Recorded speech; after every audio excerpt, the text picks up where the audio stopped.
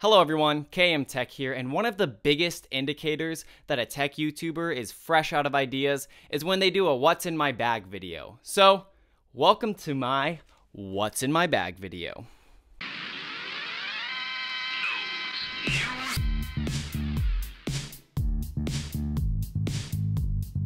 Starting off with the bag, it's the Slim Incase Icon Backpack and it's a pretty dang good backpack. It was about a $100. It's got this awesome back padding, and I really throw this around every day, and it has yet to show me any form of significant damage. I love the gray color to it, and it's also water resistant, so that's a huge plus. Starting off with the first flap, you can hear that sick zipper sound. I keep no tech here. I have a little notebook that I've written notes on. If I need to make a list of things that I need to get B roll of, I usually just write it in there and video ideas. And this is just a planner, so nothing too cool at all, which is the same thing that is in the next flap. So the next flap has one of these pins nothing too cool. Then this flap has a bag of all of the pens that I just showed you, but they're different colors. I also have other stuff like a mini stapler, but who really cares? All right, now the first actual piece of tech that we're to look at is my headphones, and they're in this really nice case. I've always said that if it sounds like you're knocking on a door when you check the uh, durability of a case, that's how you know it's good. So inside, I have my Bose SoundTrue headphones, which I actually did a review of. So if you want to see that, there's going to be a link in the description. I tossed those. I hope I didn't break them. Going on to this top little flap that I have, I keep my hand sanitizer, which is not a piece of technology, so I really didn't need to mention it at all.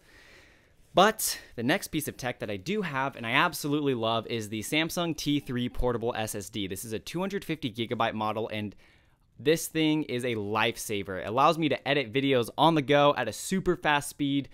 There's going to be a video review of it coming up in the near distant future and there's going to be a lot of good things to say about it. And finally, the big flapperoonie. This is the main compartment. So, in the front, I have my Nintendo Switch in this nice Legend of Zelda Breath of the Wild carrying case. It doesn't sound like I'm knocking on a door, so it's not that durable, but it's Zelda Breath of the Wild, so I can go ahead and uh, I can pass on that.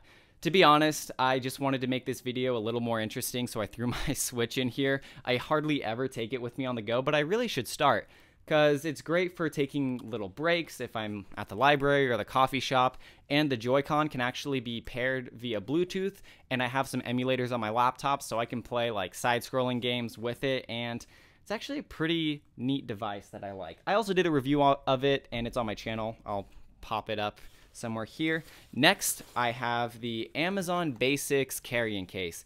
I don't have anything in it, I just have a carrying case. Next item, I'm just kidding. Okay, so first of all, that is one big door we're knocking on, so it sounds awesome. I absolutely love this carrying case. And I've got all sorts of knickknacks up in here. So first of all, I have the iMUTO battery bank, and this thing is a beast. I haven't charged it since hmm, maybe December and as of right now recording this video I have 46% battery and I've charged my iPhone probably 3 or 4 times. I don't use it all the time but I'm very thankful just to know that I have extra juice in my bag in case I need it. Next up I just have my MacBook Pro charger, really nothing too significant there and I have a variety of cables. I usually keep a micro SD cable in and the iPhone charging cube in case I'm in an overnight situation and I need to charge my battery bank so the next day I can still charge my phone because I do keep a lightning cable and a USB type C just in case I also need to charge my Switch. Next up, I have a notebook.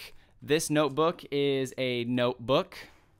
Now we have the biggest piece of tech, which is my 2015 13 inch MacBook Pro, which I don't actually have in my bag right now. I'm actually using it right behind me to record the audio for this video, and this thing is my go to. It's like adding another layer of myself. I carry it everywhere I go. I'm always in need of this laptop. I've had it for about two years now and it has yet to fail me in any department. Also, it still has a variety of ports to it, which the 2016 MacBook Pro obviously lacks. So I don't see my 2015 MacBook Pro going anywhere anytime soon.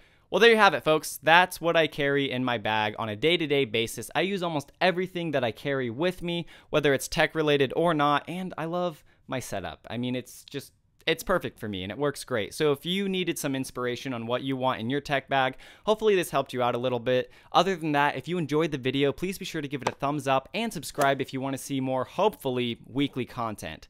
Other than that, I'm KM Tech and I'll catch you in the next video.